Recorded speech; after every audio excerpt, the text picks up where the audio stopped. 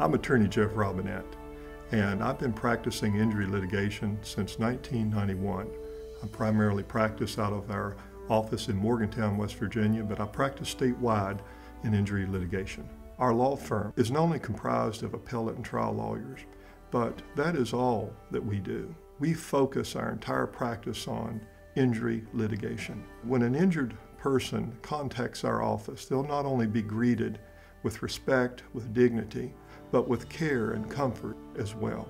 Our law firm understands that injured parties often do not have the financial abilities to go up against the powerful forces that have caused their injuries. Our law firm is able and capable to handle cases on a contingency fee basis, which means for you that there's no fee unless we collect money for you. If you've been injured, please call us today. We're standing by to receive your call. Call the Robinette Legal Group and you'll get the help that you need.